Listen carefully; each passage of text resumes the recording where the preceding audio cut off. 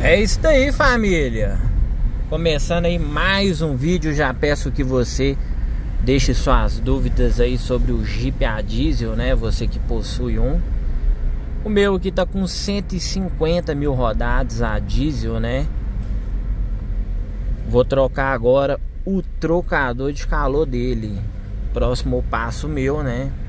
Galera Vamos falar dessa transmissão automática aqui, tá?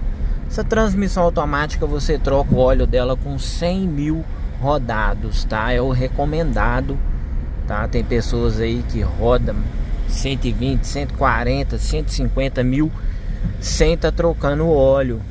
Eu não aconselho, galera. Um câmbio desse daqui é muito caro, tá? Olha o meu aí pra você ver. Já troquei, né?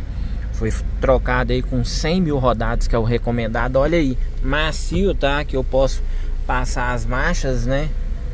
E assim, cara, carro sensacional, galera. Não dá defeito. Um carro muito gostoso, ó. Deu toquinho, ele vai passando as marchas, né? Pra frente reduz. E ali mostra, né? Primeira, segunda, terceira. Esse câmbio aqui é nove marchas. Esse modelo meu 2.0 Turbo Sport, né? Que é o mesmo motor aí que equipa a Toro, Compass e o Renegade, né? Só muda a carroceria. Então é isso, galera. Observe aí o seu óleo, tá? É muito importante você fazer a troca com 100 mil rodados, tá? Para você não ter problemas de desgaste no seu câmbio automático aí do seu veículo. Essa é a dica aí do Felipe Moreira.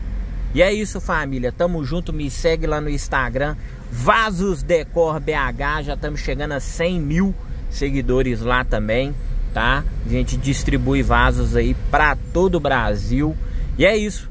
Tamo junto. E vamos pra cima, família.